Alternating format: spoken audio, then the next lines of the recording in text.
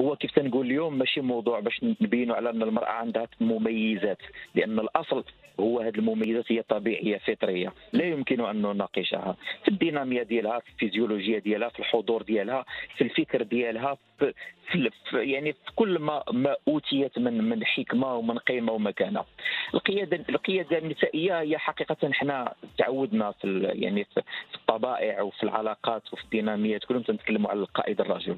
القائد هو الذي يستطيع أن يقود والقائد هو الذي يستطيع أن يتحمل المسؤولية. في إطار في إطار مؤسسة الزواج في إطار العمل في إطار جميع المؤسسات.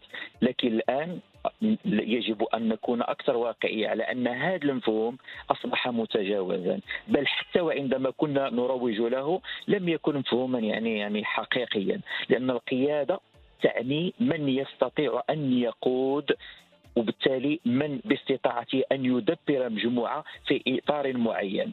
والغريب في الأمر هو أننا عندما نتكلم على النساء فإنهن بالفطرة يمارسن القيادة.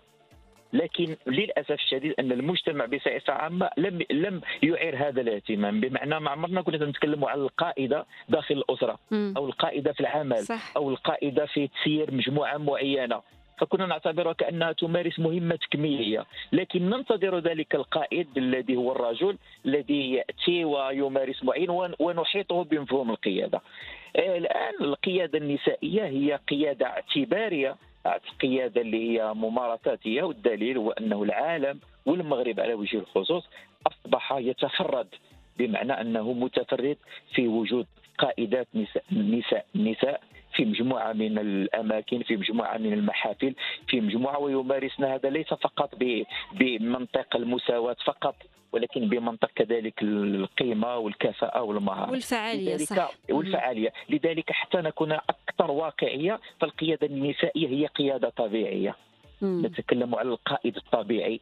القائد الذي هو بالفطرة بالممارسة يمارس هذه المهمة فهي مهمة منوطة بالنساء على وجه التحديد. اذا إلا ركزنا على هذا الشيء اللي قلتي سي كريم. المرأة عندها مقومات اللي كتخليها أنها تمارس القيادة وبفعالية. شنو هذه نعم. المقومات؟ طيب المرأة إذا جينا نتكلموا على المرأة هي كائن يشبه الرجل. في مجموعة من الأشياء. إحنا دائما عندنا هذاك التمييز الكبير جدا ولكن التمييز هو في بعض الأمور في بعض المسؤوليات. حتى في حتى في إطار المسؤوليات. لأن لم نعد نتكلم على على على المسؤوليات والأدوار.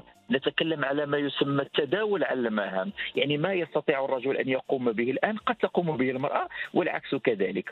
لهذا المرأة اولا بالطبيعه بالفطرة ديالها هي إنسانة مستعدة بالفطره لكي تكون قائدة.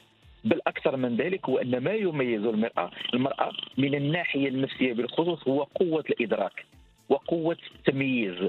لذلك أنا نقولها بالدارجة المرأة يمكن لها انها تتكلم معك وتتنصت لواحد الشيء آخر وتتفكر في أشياء أخرى. وربما ونهضروا كاع حتى باللغة العامية ويسمحوا لي المستمعين الافاضل تقدر تكون في المطبخ ديالها ومنطو تجاوب على الهاتف وتتفكر في الأمور اللي غادي دير الأبناء ديالها. هذا الأمر لا يمكن أن يقوم به الرجل.